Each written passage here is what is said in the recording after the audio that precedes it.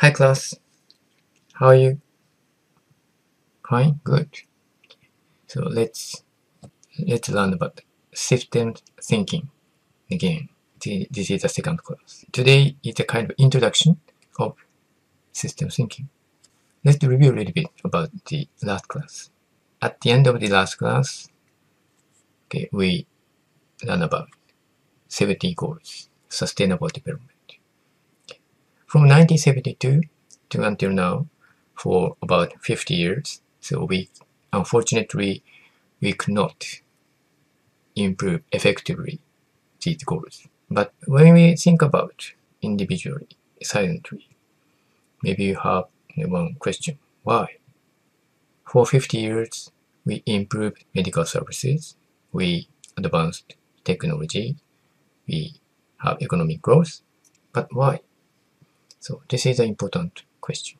Let's think about this. System thinking. Before deal with SDG 17 goals, this is a bit complicated. Maybe you feel some helpless. So that's why let's start with a simple example. Simple cause and effect relationship. So one day, okay, in your organization, in your office, so you found one mistake. And then why? And you try to find the cause. Then most of you thinking about who did it.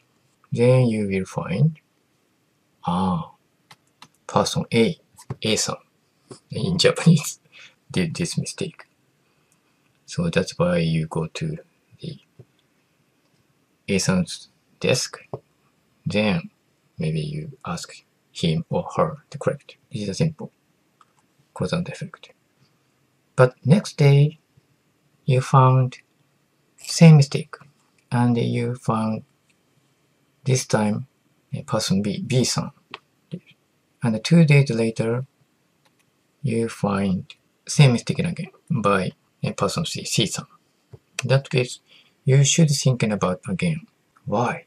If that mistake caused by person A, in that case, it have not happened later by the B, Mr. B, or Mrs. C. But it repeatedly we found this problem. Let's get why.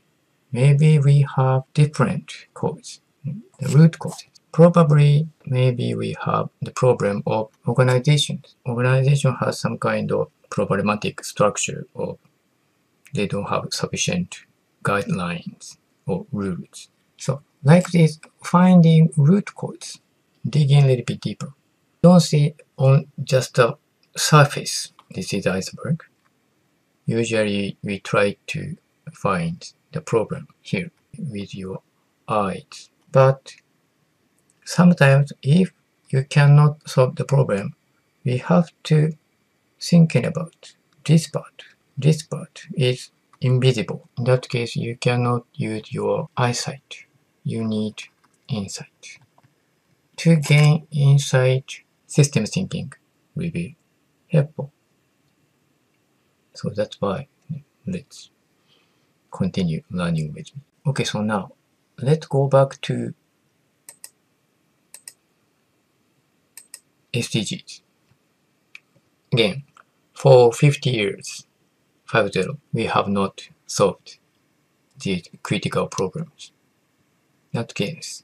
Now let's ask why again. Maybe our approach, like blaming some particular person, is not effective. We have to look at under the sea. We have to use insight.